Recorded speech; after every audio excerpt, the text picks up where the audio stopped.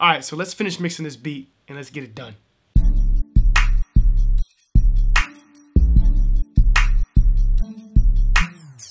All right, what's good, family? Welcome to part three. Like I said last week, this was a, originally a two-part series, but we're just gonna extend it out to a three-part series. I want you to get the most out of this. If you haven't seen part one or part two, I'll leave a link in the description for that as well. But go ahead and um, you know watch those if you haven't. Just stop the video now and start from the beginning, and you can just break them up. They're about 20 minutes a piece, and um, yeah. So go ahead and watch those, and then you'll be back on track to tap into this video here.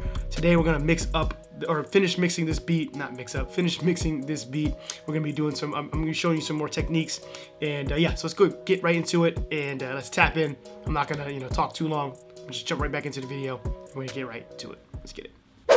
So we did EQing for melodies. Let's go ahead and let's dive into the 808 because the 808 is, to be honest with you, I don't know if you can hear it. It's just, it needs to be tightened up. It needs to be cleaned up a little bit. So we're gonna do that real quick. So, the fast distortion plugin is great. It's cool. You can kind of get, you know, a great... Let me go ahead and solo out this. So let's turn everything off real quick. Do I have distortion on? You hear the difference? I think it sounds pretty clean, right? Um, with that distortion on. Keep in mind, this 808 already has a lot of grime to it, which, like I said, you pick a good sound, pick a good 808 that really fits the track, and it just you really don't have to do a lot. This this is like I'm telling you, this is the prime example of, you know, this is exactly what I'd be talking about, right? Anyways, so fast distortion is great. We can use that, um, but I'm not going to use that. I'm going to use something different. I'm using uh, Sausage Fattener. Um, one of my favorite plugins for 808s and bass lines ever. It's amazing. And it's similar to Fast Distortion. If you have 40 bucks on you real quick in your pocket uh, or on hand, just get this plugin. It's not that much money and it, it will change the game, man, for your 808s, for your bass lines, you name it, right? So, this is what I usually do. I usually start with EQ and I usually cut out a lot of the lows, I mean the high ends. Uh, depending on the set on the on the, on the on the track. You know, I might keep a little bit more um, I may not. So let's listen to it real quick. So this right here, this frequencies right here, you, you're not really hearing that anyways. It, but but it's getting in the way. It's in the way of the hi hats. It's in the way of the melodies. So it's just in the way, right? So we cut that stuff out. Not too much, but just enough to give us, you know, keep the 808 and uh, kind of give us some more space in this area for hi-hats, for melodies, even vocals. They're going to sit in that range, give or take, you know, somewhat, right? So boom, we got that. And then that's the EQ. Now we're going to throw on this distortion plugin and we're going to mess with some of this. There's only three knobs and we're just going to play with it until we kind of get a sound we want. So...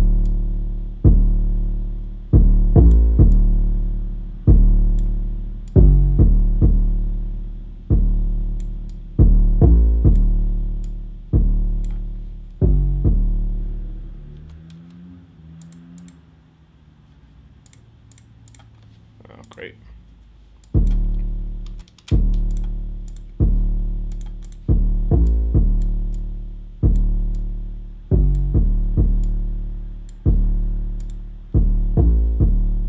I like that. I like that. I like the way that sounds. I think it sounds clean.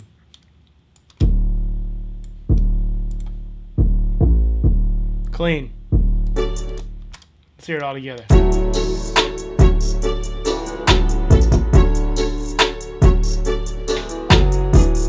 Yeah.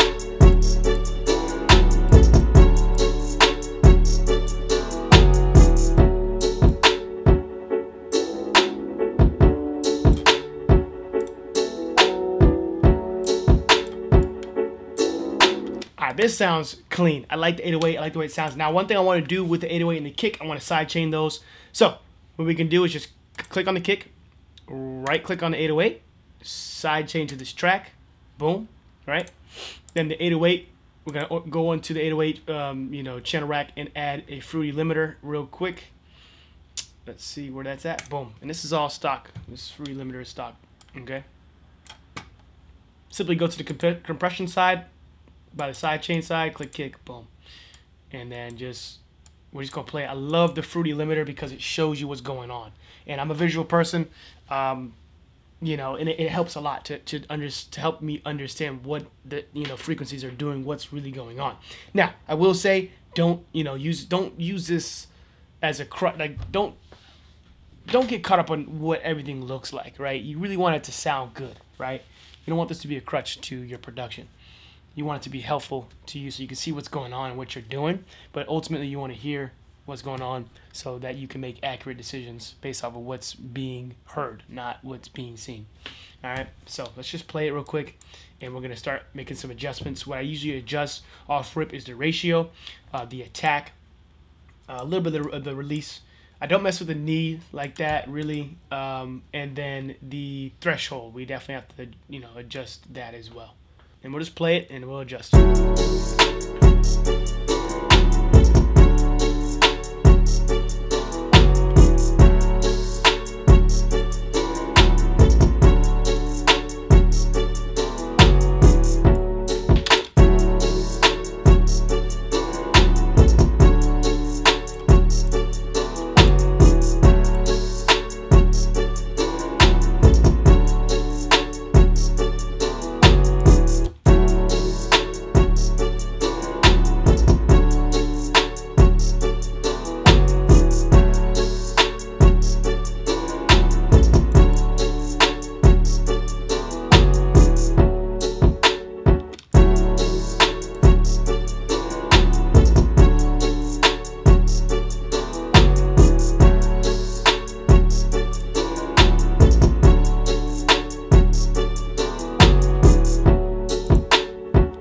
Think that sounds pretty good. As you can tell from the limiter, what it's doing is, you know, it's that kick right there is that's the kick, right? That little joint right there. It's kicking down or hitting down in from the 808.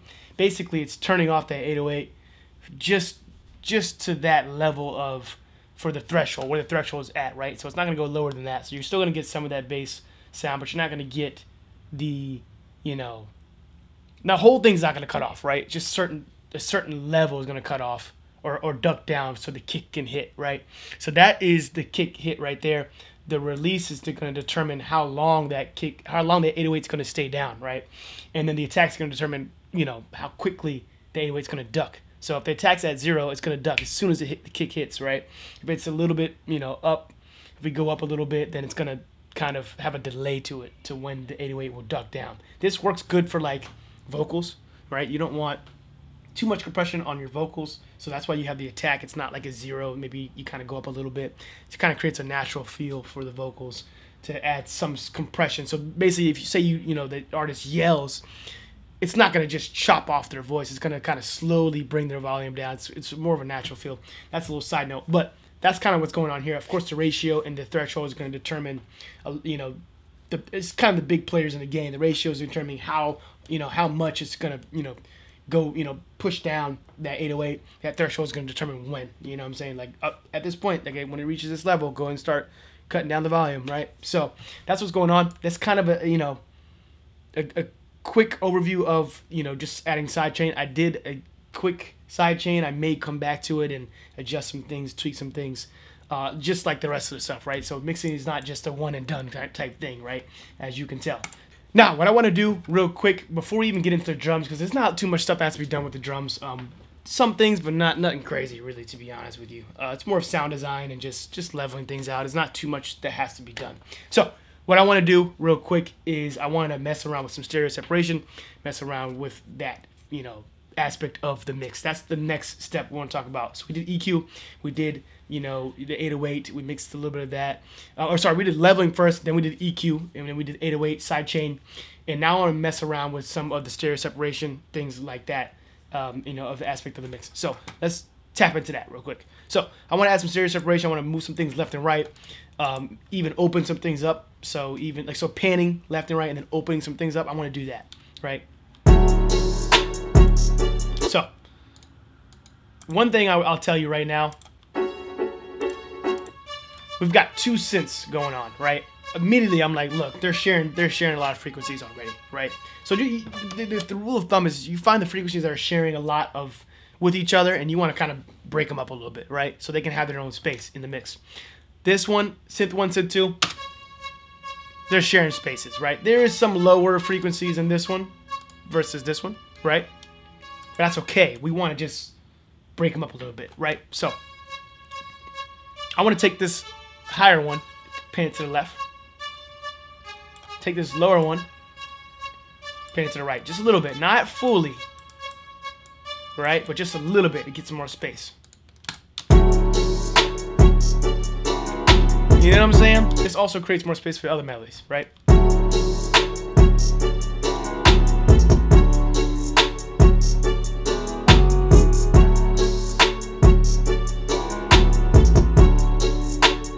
Sounds good so far, right? Now, one thing I might want to do too as well is add some stereo separation. So we, we, we separated this by panning them, but I want to do some separation with different with, diff, with um, some other melodies.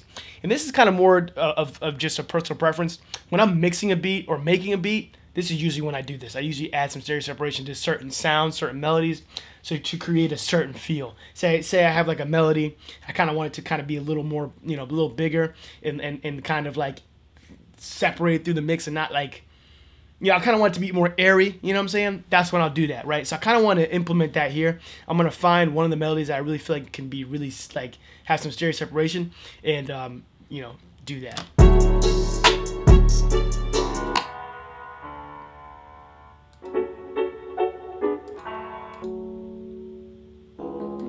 Per perfect.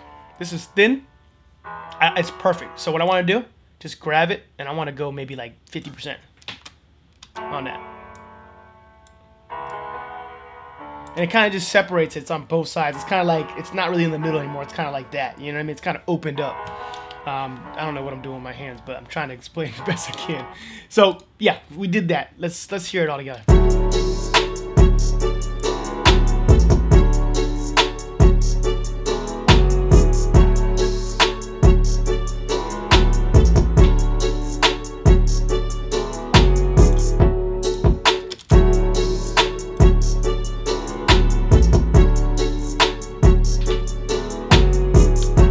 Love it. That's clean. I like the way that sounds.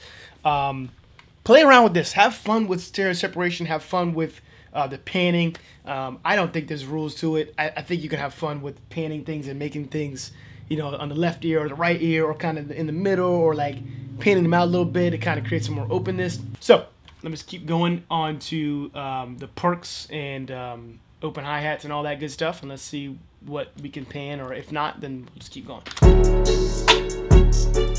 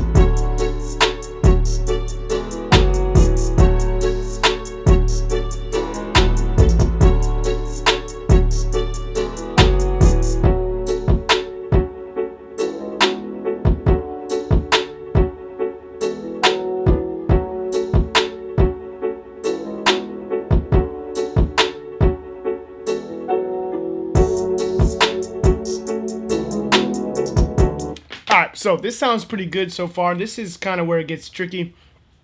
I, I, I, to be honest, to be 100 percent honest with you, I, I just kept messing around with them until I felt like it was right. You know what I'm saying? So I panned them a little bit. I felt like the bell sat really good on the right hand side, just a little bit more.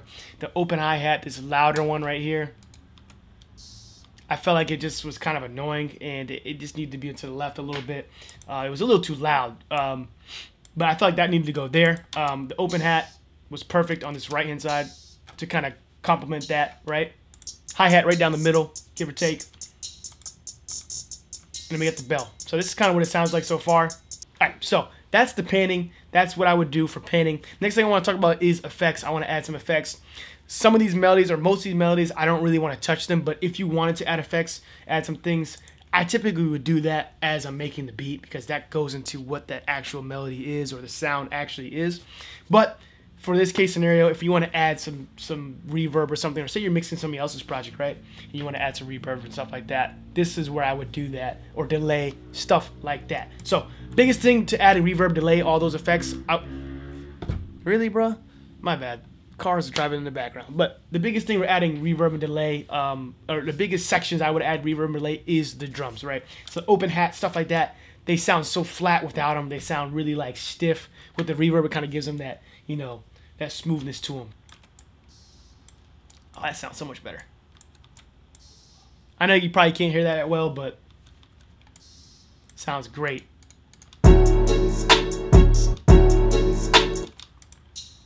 This one too, so they'll reverb on that as well.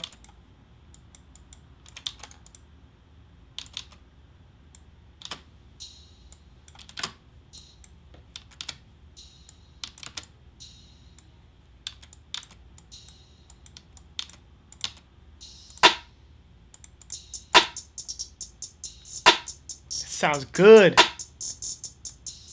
See how clean that sounds? That sounds amazing now. With that reverb, it changes the game. So, last thing I want to do to kind of finish this thing off is we got to do our buses. We, we got the buses, you know, on our, our mixer track for a reason that, you know, not just to level out the overall sounds of each, the, the melody and the drum, but also to glue them together. Let's tap in. Let's do the melody first. So...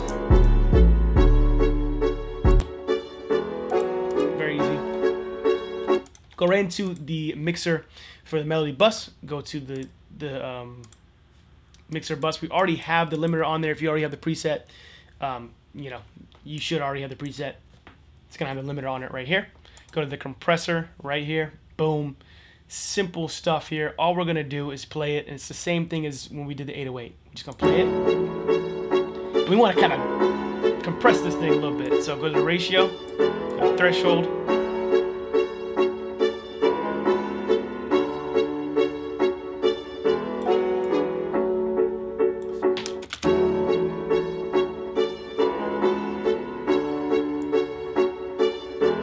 little bit.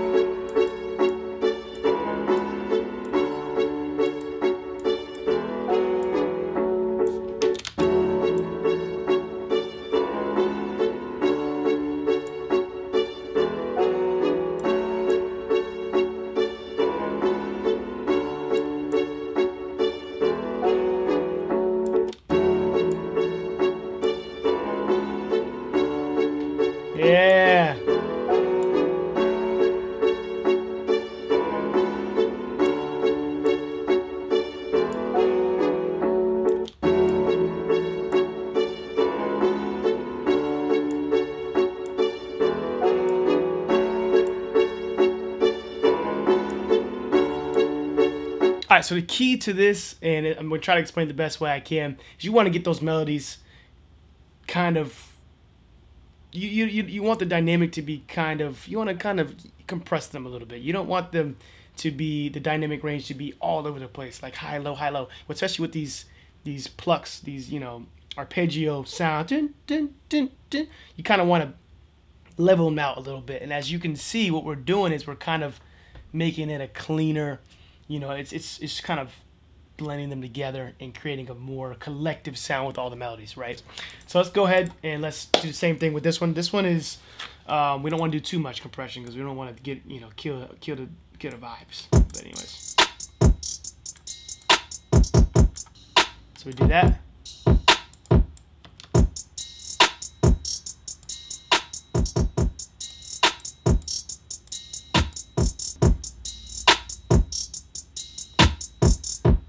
Oh yeah, that sounds good. That sounds good. Let's hear it all together.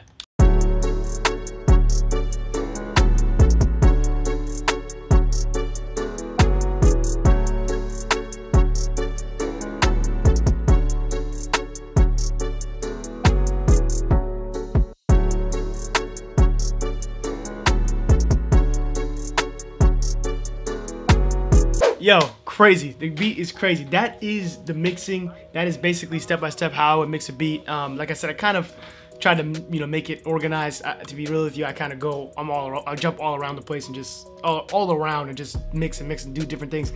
But I wanted to create a system for you. That way you can understand it, comprehend it, and uh, really implement it in your beats and start mixing better and um, making better beats, bro. Like this is this is something I wish I really had when I started making music because I feel like it was overcomplicated. The process was just ridiculous. Like it was just too much going on. Adding this, adding that, adding this, do this, do this, too much. This is much simpler, much easier, and I hope it was a benefit to you to check out this mini course that I put together. Like I said before, go ahead and get the reference mix, get this beat mixed down. I'm gonna probably spend another 30, 45 minutes mixing this down so you can get a really, you know, a really good sound and uh, listen to this in your studio, listen to this in your car and whatnot, and so you can have a great reference. Hope all this was beneficial, like I said before. Other than that, I will see you in the next video. Peace.